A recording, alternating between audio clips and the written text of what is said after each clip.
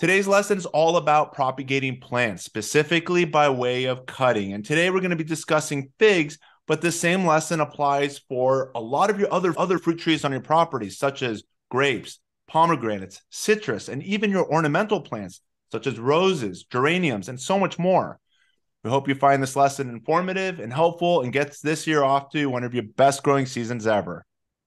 Hi, my name is Charles Malki, biologist and plant expert with IV Organics, where we grow cool plants and author of Saving the World with the Home Garden.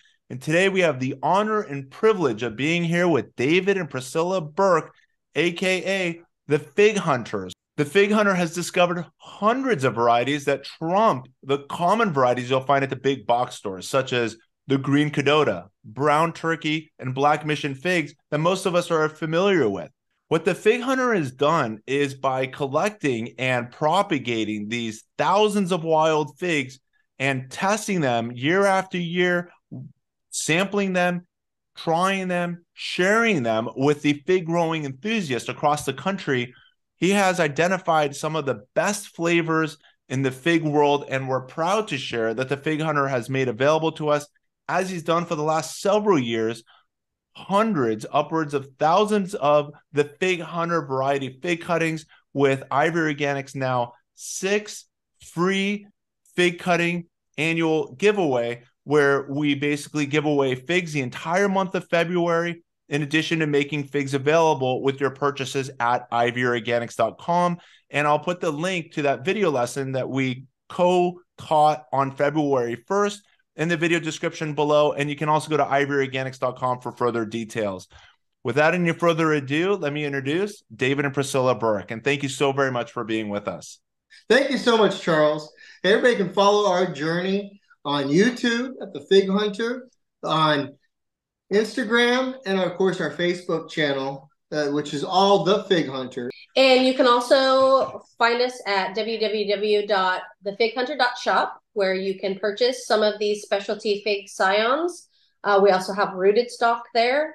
Um, we do our Fig Hunter merchandise, and there are food products, as well as a specific page for propagation methods. So you can always look us up there. And there's some links to Charles's IV Organic website directly from ours. Thank you, David and Priscilla, for the background on the fig hunter. And now let's delve deep into how to successfully root your fig cuttings or virtually any other plant cutting parts you can get your hands on and basically maximizing your success. What is the general best way to root your cuttings? Well, you could ask um, a few people and you'll get different answers. But I can say after thousands and thousands of cuttings, now, this is by far the simplest and the most overall effective. So we're going to start out by um, showing you a branch. We went out and we collected these um, this morning. So this is this is one of our newer varieties, and um, we're going to take a cutting off of it. This is a, a larger cutting. So I always like to, even though it was just uh, about 20 minutes ago, I took this uh, cutting, uh, this branch off. I like to fresh cut it. It just makes sense to me. So come up, and each one of these spots here is uh, what's called a node or a bud spot, and that's where the roots are. So I'll cut that off. I'll go over and clean it up here a little bit. Now this is just because uh, we'll use a, um, there's different methods. I really like Dip N Grow. It has a sterilization method um, built right in. So by having alcohol. So where I will clean this. I can, you know, clean this and wash this cutting to make sure there's nothing. Um, there's no bacteria or anything on it when we send them out. So we will clean them for ourselves. I'll just take some of this right here, and it's a, actually a concentrate. So this 16 ounces will make what, like three gallons or something. And, but in this case, because I know do hundreds, if not thousands, of cuttings. I'll just take that and uh, because it's a concentrate too, it's not going to hurt it to have it full strength and just brush it on. So, and I'll pay attention to brushing it on near those little cuts right there. Just hopefully with it um, soaking in. So I'll take one or two of these more and There we go. I'll take a couple other cuttings here to do the same thing. And as we're going along, uh, so if you get your cuttings from Charles right now, they're going to come already with a rooting hormone on them. They already come pre-cleaned. So you're not going to want to do this method. But what you are going to want to do is make sure you, let me reach over here, document what varieties they are. Because you could take them out of the bag, and if they're not marked, our mark our varieties will be marked, but if somebody else's aren't marked or labeled, I should say, then you could be like, what are they? So the next thing we'll do, now that we've done that, now that we've labeled these, is we'll mix your soil. Now, here's just some soil that we got from Home Depot. It has perlite and um, peat moss already mixed in it. We love recycling. This method is so easy because who doesn't go get um, even a cup of water? They stop by the local. Um, you get a fountain drink a lot of places, and if you save the cup, you can recycle it for planting. what we're doing right now. And you don't want to compact the soil when you're filling it up. You want to like let it be fluffy. So you can kind of see it's kind of fluffy. So with the and that's something what Priscilla was just saying is very important. A lot of time we learn the hard way that if you come in here and you compact it like this, our kids used to when they take this and then they try to shove that in. Gotta make sure I know the right way, right? That won't go in. That is, I mean, that is down only about that far. You can see how far it went down. Well, but and if, it makes it difficult for roots to be able to make their way through it as well. Yeah. But if it's fluffy, and sometimes I'll keep it kind of on the side. These are all just uh, tips and little hacks to making sure you end up with the fix. See how easy that is? It goes all the way to the bottom. Then you kind of turn it over and you can gently tap it. And there are two other things. The next thing that we'll do is we'll either put um, perlite on top because sometimes you have an issue with fungal gnats, or you can put a little bit of sand. A little bit of sand on top. It also eh, sand it'll dry it'll drain. The perlite will help drain, so you're not having the soil right next to the cutting up near the top the whole time. Where when you're watering, you, you don't want wet soil when you're watering against or rot. By putting that draining, well draining uh, material near the top, it helps. One other thing is you don't want to go all the way to the bottom with your cutting. You want to keep it about, you know, about an inch up on whatever container you have. So something else that we could use too, because there, there's another thing on top of this is um, I'm playing with this here is taking because I'm already going to use IV Organics three in one. I love it. We're going to use it in the orchard, but actually seeing it works and um, it should by all methods. If I now use a little bit on top that cutting so that you do not lose moisture from the cutting, and then um, gently have it a thinned out amount and brush it on the buds. The buds should break through. That'll also kind of help keep the moisture in the cuttings. And again, we're talking it'll use so little so, David and Priscilla, I appreciate you sharing your rooting medium of choice. Again, being a perlite slash peat moss mix. So, one of the things I've learned in rooting cuttings is that I like working with things perlite, which you've shared with us earlier, and then vermiculite. And I've got the bags right next to me again, so you can see the spelling. This here is perlite. You can see it looks like white snow and then vermiculite is basically looks like powdered fool's gold. And what happens is they're basically they're even though I say they're non-organic, they're still organic, um, registered with OMRI for again commercial organic gardening as well as um, for backyard growers that want to again implement organic methods for growing the best food and the healthiest and, and minimal impact on the environment. And so perlite and vermiculite basically um, I like using them because they're more of like a sterile soil medium. And so that when I'm taking my cuttings, which in a way, um, once you cut it off the tree, it's it's on the path towards dying. And we don't want to basically um, contaminate, obviously, exposed areas or any of the cutting with um, soil that's going to basically lead to um, mold or bacterial infection or anything else. And that's the reason that um, with all the cuttings that you're going to get from IV Organics, what we're doing is we're taking our cuttings, we're then scoring them um, near the leaf node over here. So again, you can see before I've scarred it, and then now that I scar it right here, I basically scar right through the node. And what we're doing is we're increasing um, water absorption, and we're also increasing the surface area for rooting. And what I'm going to do next is I'm simply going to dip it in a rooting powder. And you'll see it's got like a white tip. And then what we do next is we'll take a paper towel, spray it with some water, and it's really just two sprays. Again, we're not um, drowning the cutting. We're just adding moisture so that the cutting doesn't lose more moisture, and then we'll wrap this all together like so, and then insert it into our plastic bag so that the moisture is retained until the fig cutting makes its way to you.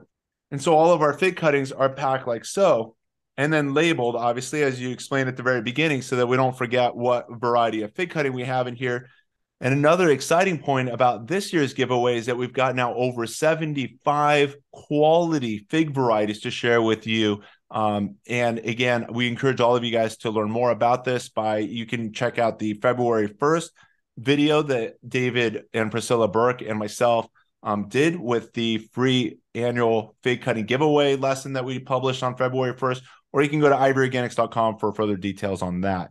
Um, so again, going back to the soil again, perlite, vermiculite. My preference is to mix the two together. Um, so it ends up being more of a 50 50 mix like this. So you can see the perlite and vermiculite are mixed. So I would simply take these two bags, mix them together. And the thing you'd want to do before you put your um, soil medium in the cup is, and you're not going to be able to see this, but I want to quickly demonstrate. What I've done is I've gone with my um, heavy duty scissors here, and I'm basically cutting holes at the very bottom so that if I were to pour water into it, water would pour directly out of it. And again, here's my soil medium. Again, if I were to add water from the top, it would pass right through because of all the drain holes I've added at the bottom. And then what I'll do is take another cup that does not have holes at the bottom and use that to capture um, the water that I add if I'm watering from the top or if I'm watering from the bottom. I'd like to pass the table back to um, the fig hunters, and if you can share your experience with um, another common way of propagating figs, which is known as fig pops. And I know um, all of our fig cuttings come in these plastic bags, and I know there's a way that you can actually even use the plastic bag to now root your individual fig cuttings that you'll be receiving. Um, and if you can share um, with the audience um, you know, how would you prepare a fig pop and how successful or not successful has that been for the fig hunter? So you got a band, you got a bag. Now, like anything, and thank you for bringing up, we didn't show that we could put drainage holes. Definitely put drainage holes. They're the key to success. Well, the same mixture that'll work in here will work in this bag. Again, you don't want it where it's too damp you want to be able to kind of, you can see, just clump it a little bit. The fastest way to kill a fig cutting when it is enclosed is moisture, too much. But if you don't give enough moisture, they will not root. So build this up in a bag like that. And um, now we'll take a cutting. This right here is, uh, I don't know if you can see that. It's 455 Amen Citron, one of our most popular varieties, the variety that just doesn't exist. It's crazy. It's pretty easy. You'll stick it in this. Again, we're not trying to compact. there is what we've seen. So we're kind of loosening the soil up, putting that near the bottom. Again, keeping it not touching the bottom, but up a good inch to two inches in this case, allowing the soil to totally surround it. Kind of. And we prepared these cuttings the same way. I mean, and now you'll take rubber band and you will wrap it. I prefer to allow at least one bud to be exposed. The other ones could be below the surface. Sometimes that's where it's going to root. And we will wrap it once or twice here. And then we'll hold it down like this. And that gets rid of the excess of keeping that tight. What you'll have here is because of this bag is covering the top, it will do the same or do a similar way as a the lid or the baggie. Will not allow this to dry out as fast right here. And it'll create a greenhouse. Sometimes you'll actually see, see roots spring from here. At a certain point in time you might want to cut this back a little bit when you see any green foliage so it doesn't touch the plastic and then you can really put this anywhere you can put this on a shelf you could put this someplace that's we recommend was about 70 degrees. So 65 to 70 degrees, sometimes up on a shelf. It doesn't necessarily have to be in the light as long as it's warm. So this method really works. You can put a bunch of them in a container. And um, holes are very important with this too. Not, not a ton of them, but air holes. So you, it drains, it can dry, allows it to dry out a little bit. If this is completely dry, and you can tell, is the weight as it dries out. You can gently put it in a little bit of water, let it touch the bottom where you put the holes and it will come up just a little bit. You've created, I mean, pretty soon, if we waited about five minutes, you'd actually see a little bit of condensation building up on the inside of the bag. So you don't have to water this method very often.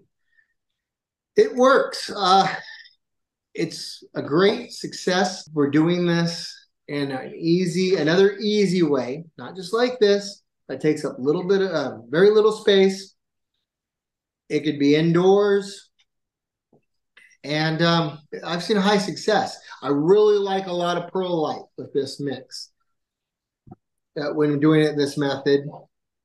And um, I guess the downfalls are if you get the wrong mix, the wrong moisture ratio mix.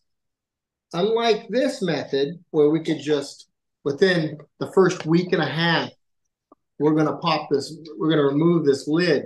We're actually going to cut it off. To use scissors cut the lid off. It's easy. So after the fig cutting starts growing roots, or starts thinking about growing roots, there's not a ton of moisture against the roots or trapped in here. So it will not rot the newly formed roots off the cutting. This, you're married to it per se. So you really have to get that mixture correct. Um, again, I, I tend to lean on the little bit drier side because the moisture is again trapped, other than the little bit of vent holes. I did say that but it works. So both methods. And then you can even do it in water.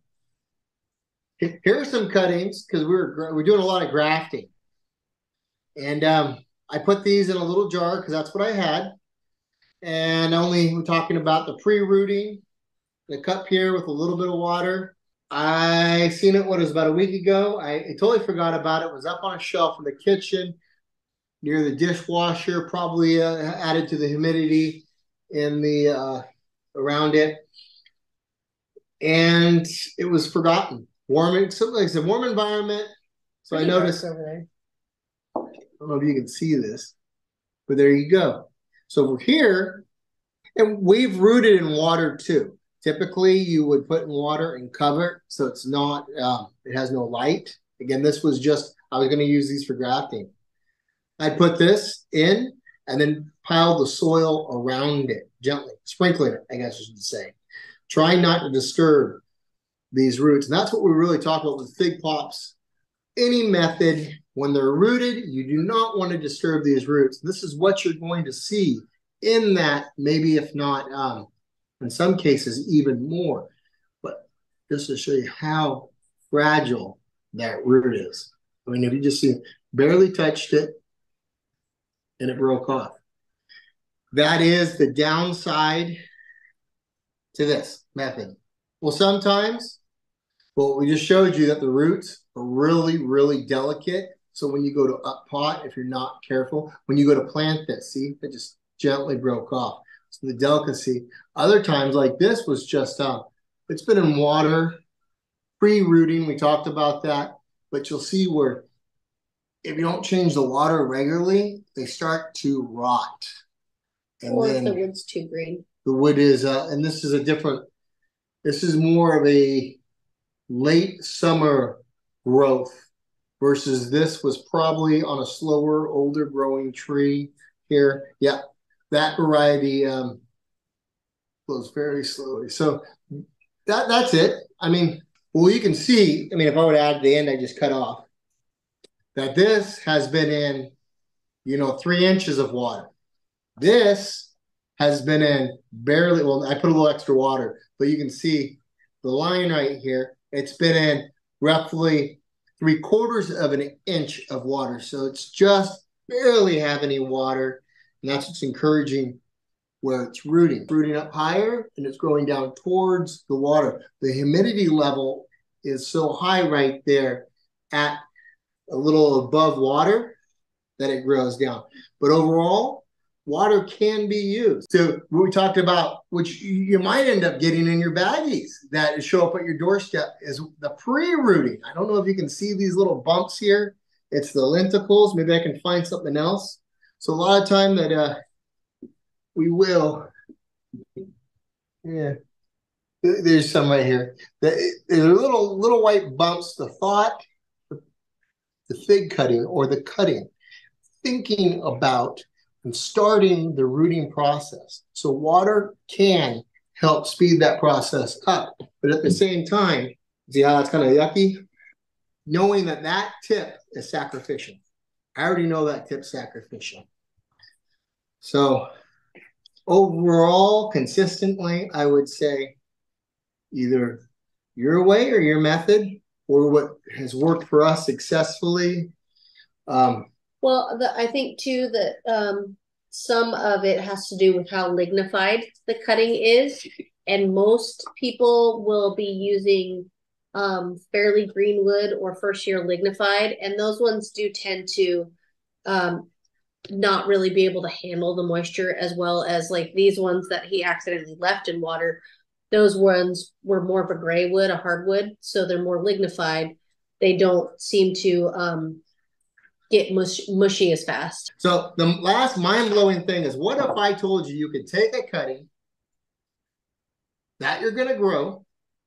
Heck, this could be one of the capper figs that Charles has. Mm-hmm. And you can, method we're going to be using is cleft grafting. And I can very quickly, very easily. You're taking a terminal end. Oh, I'm taking a terminal. Taking a terminal end here, and this is Amon Citron. Set this in there, about like that. Again, um, the big thing about cleft grafting is you want to have the cambium layer line up on the sides. Wrap it real quick with some, uh, we like parafilm. And then our go-to is, after we do that, electrical tape. It's black electrical tape. The reason why, I know Charles loves fishing twine, but the issue is I forget. I'm honest. I forget. And I've even tried rubber bands and forgotten. But black electrical tape there's some out there in our uh, in our grow tent right now or in our greenhouse that still have a little bit of electrical tape from the middle of last summer where I grafted, and they're okay because electrical tape stretches. See? And then when we're doing it, or you could use, and this right here, um, chip butter, where you just take that off and take one off right here.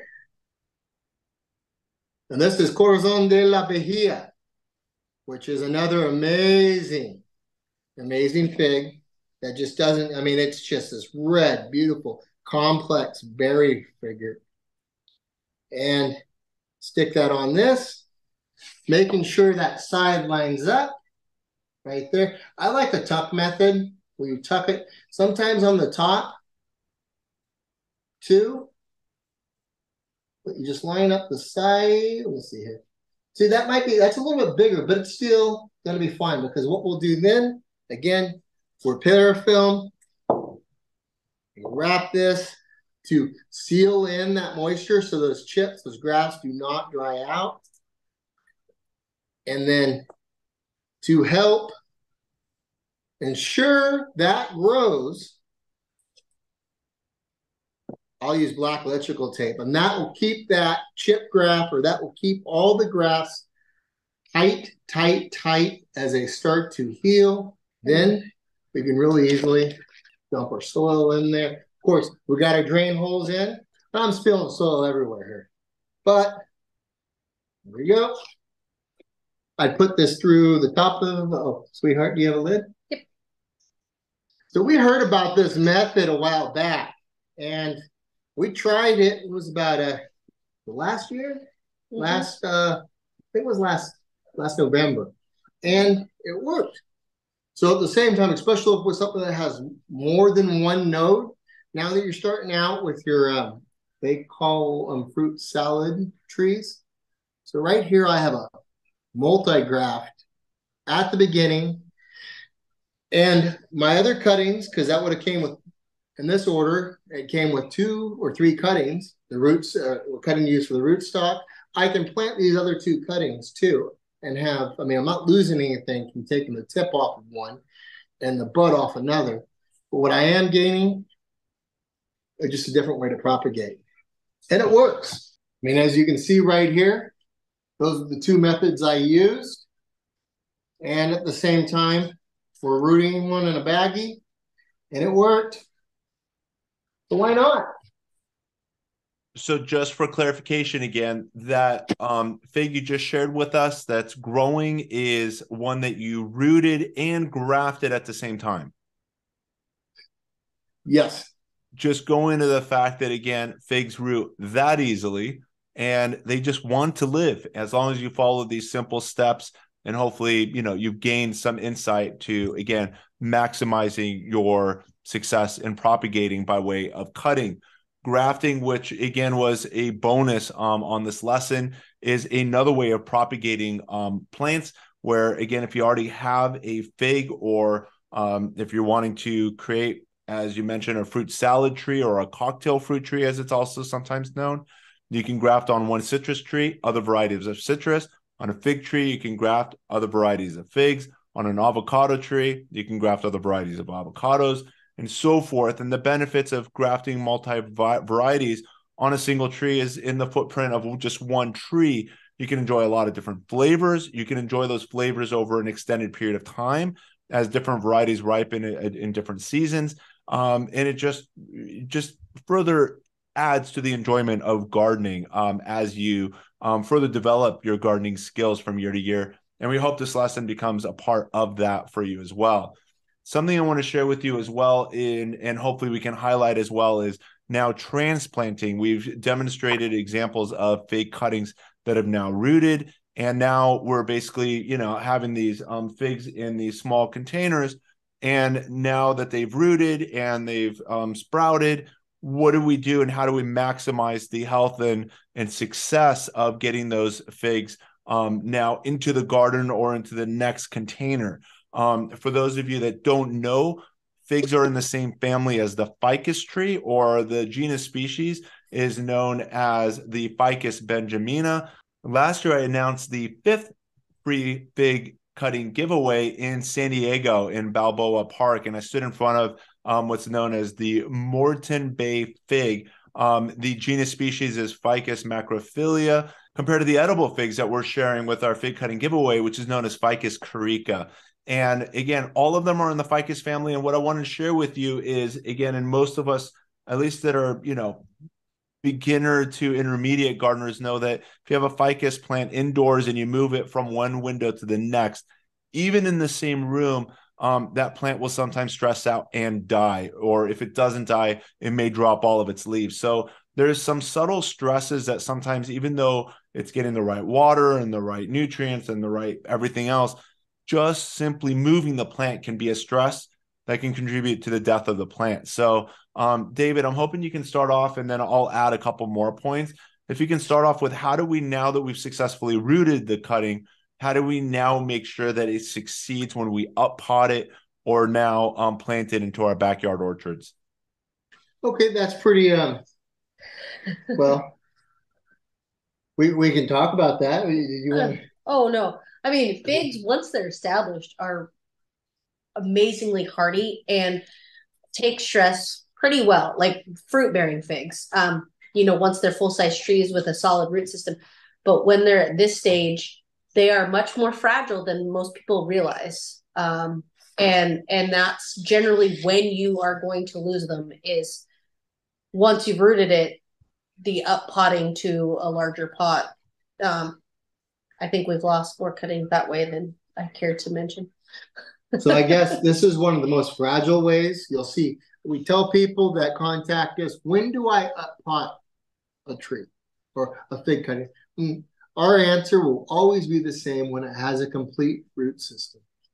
But that will be a little bit different than this, which over a course of a, a, a significant while, it can have a root system like that.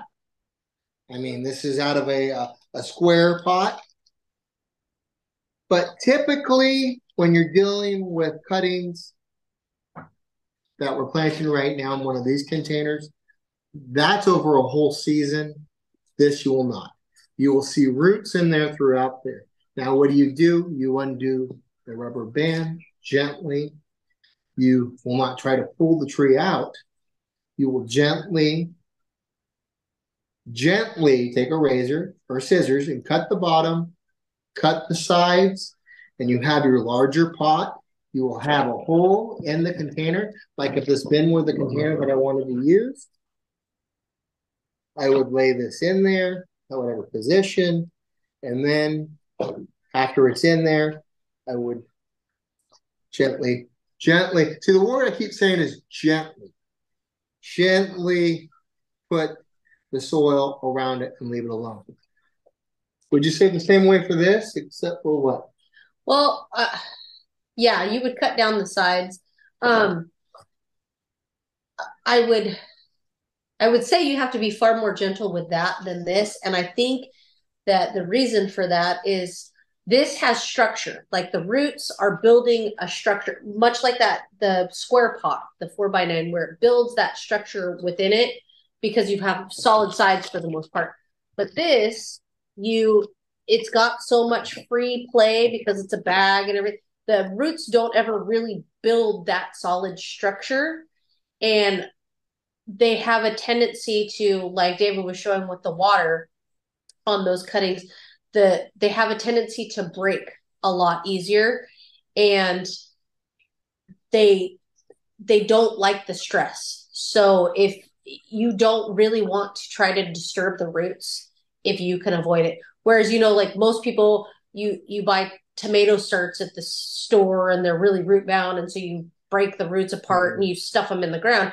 These you want to avoid touching those roots as much as you can possibly avoid touching those roots. Those are all fantastic tips. And I really appreciate, and I don't think I've ever heard anybody saying when it comes to those um, baby fig starters to be gentle on those roots. And you did say it multiple times. Um, and I think that's a very helpful lesson. And I love how you compared it to the tomato root bound roots. And yes, you typically rip off those bottom five, 10%, you know, the roots. that are root bound, and, and the tomato seems to absorb that shock without any issue at all. But um, these baby plants need to be babied a little bit more. Um, other helpful tips I know we also discussed is that you can also, as you acclimate them, you can transition them, for example, under a bench, especially if you're starting them indoors and then taking them out. Um, put them in a position that maybe gets about an hour, not more than maybe two hours of morning light for the first few days, maybe first week, and then um, basically, you know, transition them as it finally finds its place into your garden where it's going to get the six to 10 hours or more of light, especially as it goes into the summer, where it's going to be getting 14 hours of light. Here we are in Los Angeles and even up um, in Northern California, um, starting June of, you know, the first day of summer, June 21st.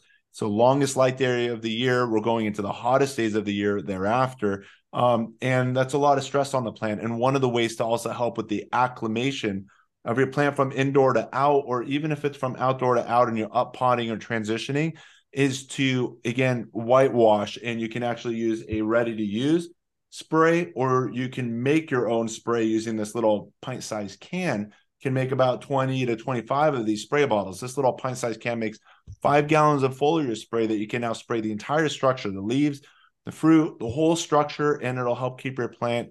Um, it basically serves as an anti-transpirant, helping the plant better retain moisture, reduces transplant shock, and helps with the whole acclimation process as well. This is something you can do on your figs, you can do it on your citrus, you can do it on your avocados, you can even do it on your tomatoes, squash, pepper, and so much more. Um, all of your plants can benefit from um, basically helping to curb the weather extremes, while also helping to keep pests, especially off of your newest and youngest and smallest plants, protected, as it also has um, the three in one product essential oils, which include castor and cinnamon and clove, um, garlic, peppermint, rosemary, and spearmint, oils that naturally, organically repel most pests and rodents in addition to diatomaceous earth, which is another insect repellent added benefit. So um, those are the things that you're going to do to help get your plants off to an excellent start as those roots get established, whether it be as you're up potting into the next container or into the in-ground garden to become a part of your backyard orchard. So the, the great thing about the three-in-one plant guard, if you followed any of our videos or any of our content, is the fact that our daughters love to get dirty. So they're out there and they love helping. Uh, from the very beginning, they've always been a part of our venture. And um, they can get this all over themselves and their clothes.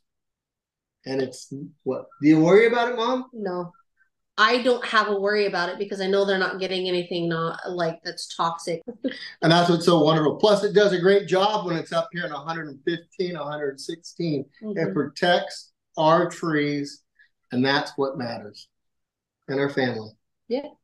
You guys are awesome. Thank you so very much. And uh, again, thank you for all the enormous value and content that you've shared with all of us that are interested in propagating plants, specifically figs, but any other plant cuttings. Um, these lessons can hopefully be of help to making this your best growing year. And if you want to share with the audience, how can they best learn from the fig hunter, David and Priscilla and family um, more valuable tips going into the growing season?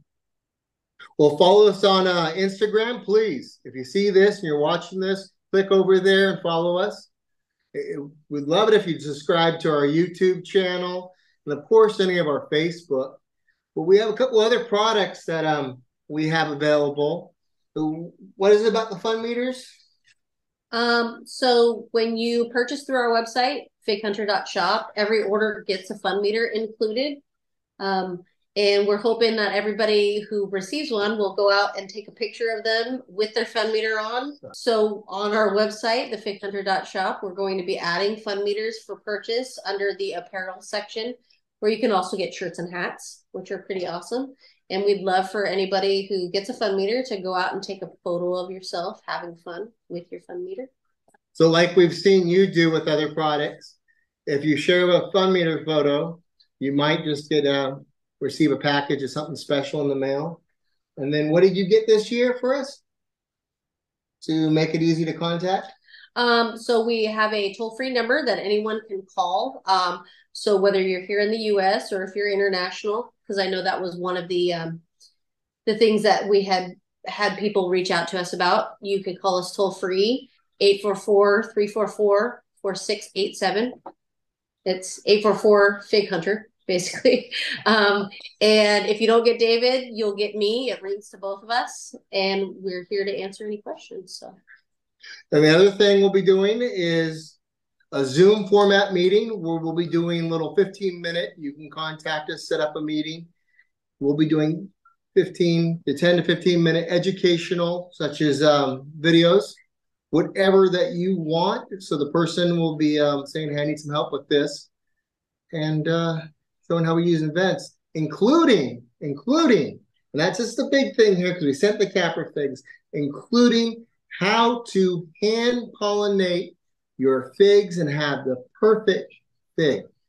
So, mm-hmm.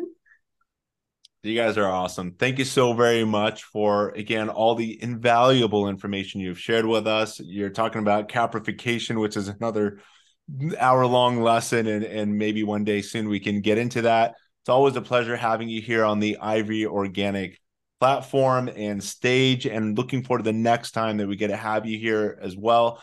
All of the social media links that you shared, in addition to the phone number, if you want to even call into the Fig Hunters will all be in the video description below for your convenience. So you can um, simply click it and get connected and continue learning um, the Fig Hunter way.